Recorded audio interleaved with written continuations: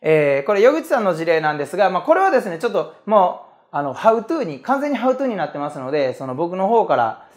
えー、どうこう言えることが、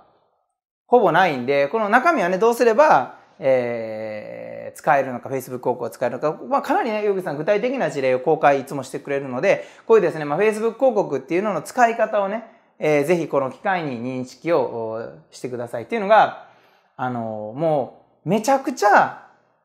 成果が出やすいっていうか、お金が安いです。とにかく Facebook は安い金額で集客できるので、もちろん合わない業種もね、もしかしたらあるかもしれない。逆に高くなってしまう業種もあるかもしれないですが、基本的にはかなり低コストで集客できますので、やっぱり Facebook 広告、今の時代 Facebook 広告というのはぜひ検討の中に入れておくべきものなので、えー、いろいろね、こうどんなものなのかな、どれぐらいお金かかるのかなっていうのを全部入れてくれてますので、そういうのをね、えー、見てください。で、今月、一個だけね、ヨグさんのやつで、えー、僕もですね、強調して言っておきたいことですが、そもそも広告の成果を出すものは何かっていうとね、よくね、広告っていうとコピーとか、セールスライディングだったり言ってから言う方いらっしゃるんですけど、実は広告の中でどういう内容が書かれているのかっていうのは、影響力が小さいです。えー、もう僕らの世界の設定、定則は何かっていうと、一番まず上から順に、誰に何をどう言うかなんですね。一番大切なのは誰に言うかが一番大事です。これ簡単な話なんですけど、えー、もしあなたと僕が勝負すると。で僕はまあプロのセールスライターですから、えー、っとですね、うん、そうだな。何しようかな。えー、例えばそうですね、ハンマー、ハンマーです。まあいや、トンカチでもいいや、金槌。僕は金槌を売ると。で、あなたは金槌を一番欲しい人を選べます。まあ男性。まあいいや、わかりやすく男性向けに金槌を売れます。で僕は女性向けに金槌を売れって言われた。勝負させられた。まあ、勝てないですね、女性。まあまあ、まあ、もちろん多少のテクニックあるかもしれないけども、うちょっとわかりやすくしようかな。えっ、ー、とだ、同じ男性にしましょう。同じ男性なんだけど、僕は、あの、ネットオタク。家の外に出たくなくてゲームをすごくして もうゲームがとにかくしたいっていう人に、えー、金槌を売る。やめた、ごめんなさい、やめた、えっとね、えー、ゲームがとにかくしたいっていう人にボクシングジムを売りましょう、僕。で、あなたは、喧嘩を強くなりたいという若い血の気のたぎってもう喧嘩が強いのが正義だって思う男の子にボクシングジムを売れるとします。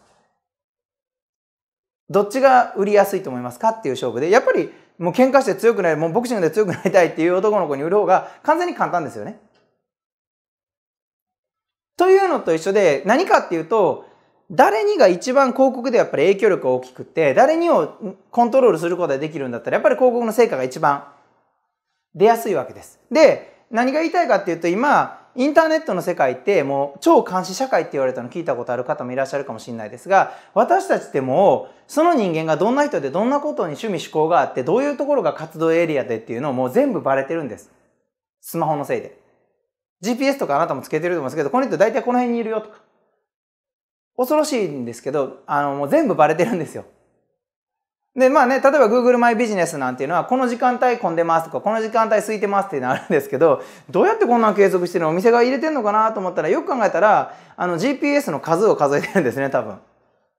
ていうふうに私たちでも普段の行動が全部もう筒抜けで、で、私たちが普段どんなサイト見てるかも全部筒抜けなんです。だからどういうことかっていうと、もしあなたが Facebook のアカウントを持ってるとしたら、Facebook 上ではこの人がどんな、どこにいて何をしてるか全部知られています。どんなサイト見ているか知られてます。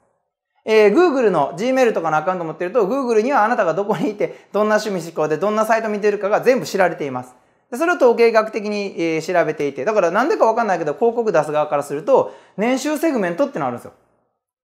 入れるとこどこにもないのに。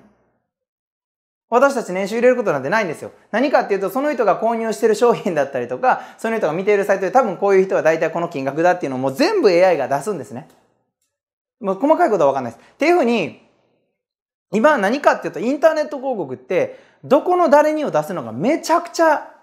絞れます。もうぴったりの人に最初から出せるんです。だからコピーの力があまりいらなくなっちゃった。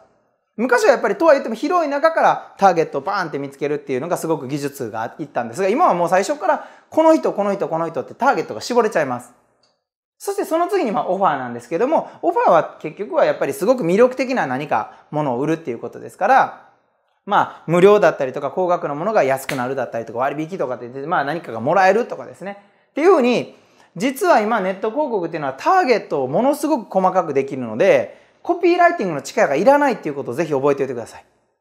なので、もしあなたがそのコピーが苦手だなと、セールスライティングがどうしていいか分かんないなと思ったら、むしろインターネット広告やるべき。ターゲットをガチッと絞って出すべき。しかもこれ地域ターゲットもできますから、あなたの証券だけで出せる。だから、アクセス数は少ないかもしれないけれども、完全に狙った人に表示するっていうこともできて、お金かかんない。だけど、たあのターゲットにはバッチリ見てもらえるってこと、いくらでもできます。なので、正直インターネット広告今やらないとものすごくもったいないです。競合さんにお客さん取られてると思ってください。まあ、ぜひ今回でどんな数字なのか、どれぐらいお金かかるのか、実際はどうなのかっていうところ毎月、ヨ口さん細かく細かく教えてくれてますので、えー、参考にしてみてください。